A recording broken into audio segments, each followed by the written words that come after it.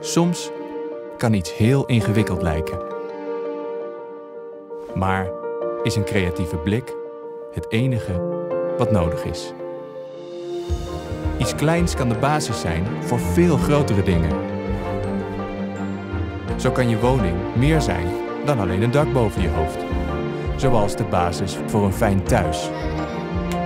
Een plek waar je connecties maakt. Waar je kan groeien. Nu, maar ook in de toekomst. En ook al lijkt die plek misschien ver weg.